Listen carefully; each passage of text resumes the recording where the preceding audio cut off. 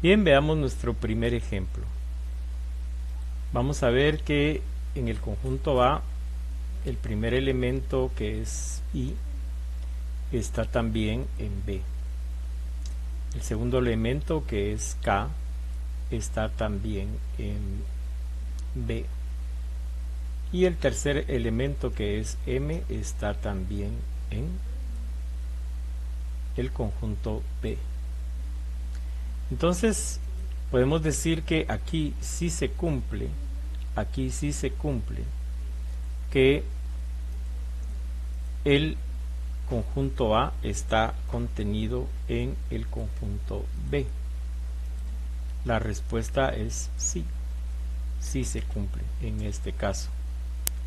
Eso es lo que se espera que se analice en la hoja de trabajo. Pero adicionalmente tendremos que hacer la gráfica de lo que ha sucedido.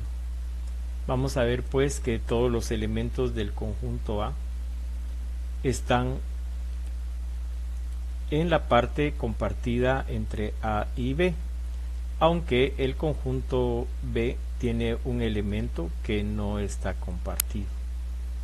Esta es la primera situación y el primer ejemplo eh, este tema. Nuestro segundo ejemplo. Vamos a ver que el conjunto A tiene un elemento B que está también en el conjunto B. Y tiene un elemento que es el conjunto, el elemento N, que también está en el conjunto B pero hay un elemento que no está adentro del conjunto B. La situación vendría a estar representada de la siguiente manera. Todos los elementos que están en B también están en A, están compartidos. Pero A tiene un elemento que no está adentro del conjunto B. Entonces la pregunta es, diga si el conjunto A está contenido en el conjunto B. Esta es la pregunta. Y la respuesta en este caso sería de que no.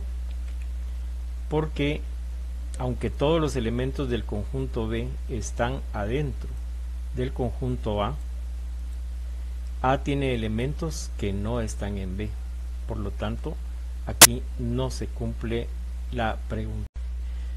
Bien, en nuestro siguiente ejemplo vamos a analizar si efectivamente existe la relación de contención vemos que entre el conjunto A y el conjunto B no hay ningún elemento en común. Los conjuntos no tienen ningún elemento en común, absolutamente ningún. Entonces, la situación graficada resultante vendrá a ser esta. El conjunto A tiene sus propios elementos. El conjunto B tiene sus propios elementos. No hay nada en común.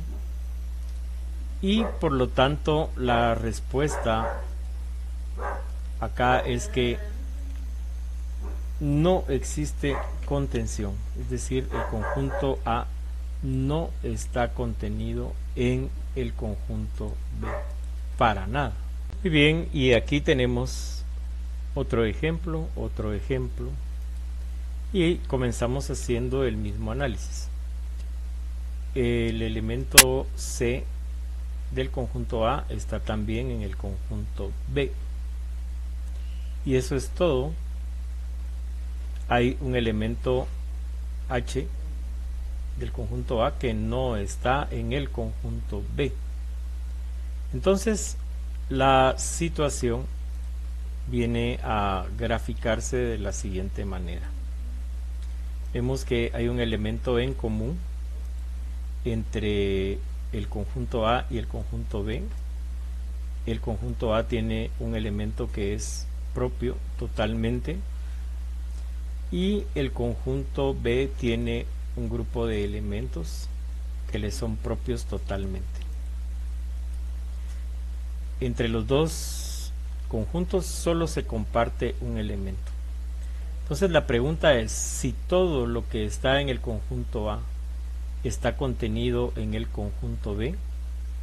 La respuesta en este caso vuelve a ser no. Claramente, se necesita que todos los elementos del conjunto A estén compartidos con el conjunto B para que pueda darse la relación de contención. Este es nuestro último ejemplo. Gracias y buena suerte con la hoja de trabajo.